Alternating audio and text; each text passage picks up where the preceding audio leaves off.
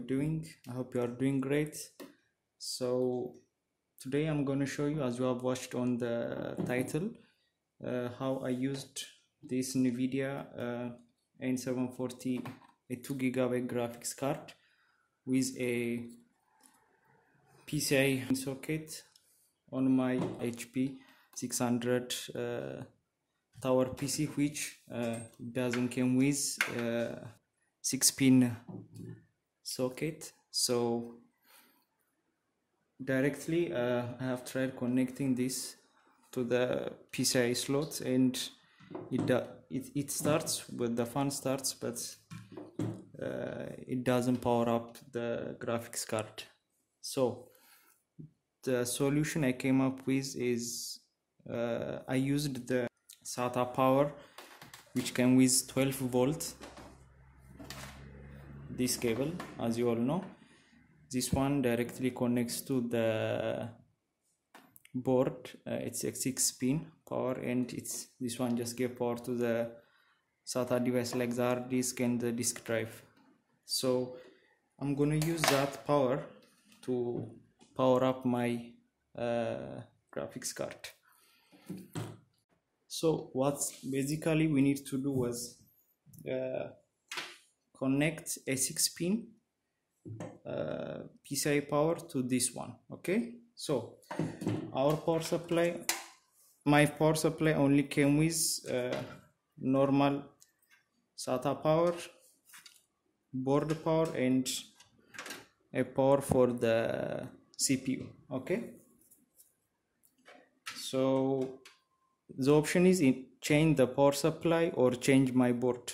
So instead of that i i got this old power supply.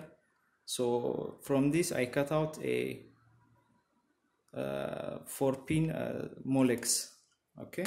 And we just need the wires okay? These four wires red black and yellow. So what we are going to do is we just we are going to stall power from the SATA power to the graphics card okay you see this one? It is a female uh, I, I mean yeah it's a female uh, molex which I directly connect to the SATA okay? What I did is just to make it clear for you here is a SATA power. So I put red one here yellow and black. Okay? We just connect this one like like this. Let me zoom it for you. Like this okay?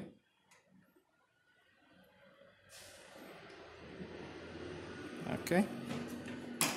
So then I will connect this cable this Molex cable directly here and this one can now connect to the graphics card okay? Can now connect to the graphics card okay? So what we did is we connect this uh, female Molex cable which is this one to the SATA uh, 6 pin uh, power then give it to the the graphics card. Okay. So just to check we have the enough voltage to power up the graphics card. As you know uh, motherboard this PCI Express only gives 75 watts of power okay? And this graphics card needs at least 150 okay? So what it uses is from the motherboard it takes 75 watts and direct power uh, 6 pin from the power supply. Okay? So in this way it could power up. So uh, let's connect this one directly to the board. Okay? It's connected to the board so this one just connects to our hard disk. So it powers up our hard disks and uh, the molex 3 pin we prepare for the graphics card okay? So just to check out we have enough uh, power uh, we can use a voltmeter to check. So i have powered up my computer. We just start it and check we if you have uh, 12 volt okay? So here is the cable we prepare uh, 3 pin molex directly from the SATA okay? The black is the ground one so we put that on the middle and we check. Okay so as you can see I have 12 volts so that's what we need for the graphics card okay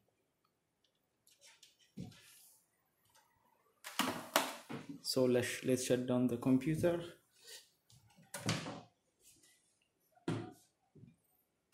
Okay. And let's connect the graphics card.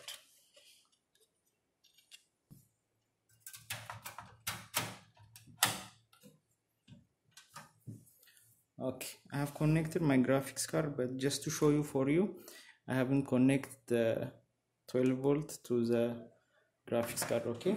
Let's just start it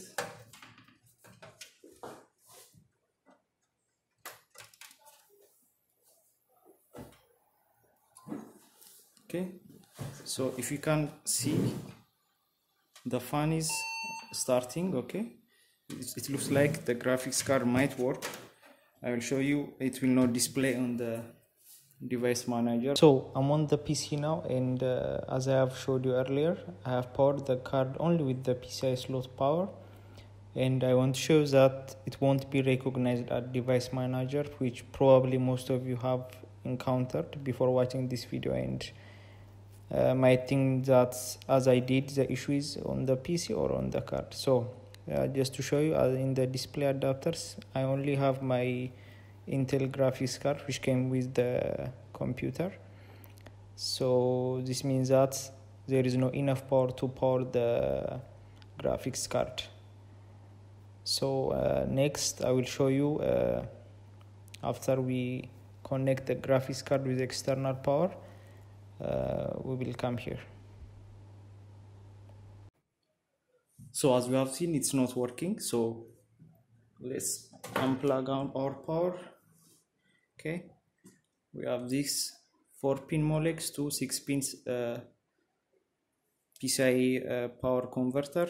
We connect that directly to the graphics card and we put this one to the SATA power we just prepared. Okay. Okay now it have 12 volt power and also have the motherboard power. Okay so let's check if it works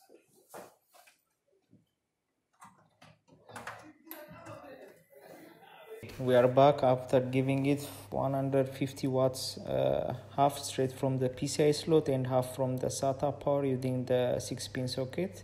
And let's check if it pops up in the device manager. Yeah okay here you go. Uh, so you can clearly see that the nvidia card is uh, working very well and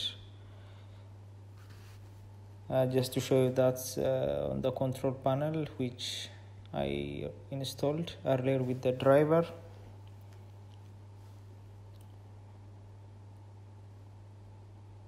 Yes. It's working uh, and my display is connected to the card now.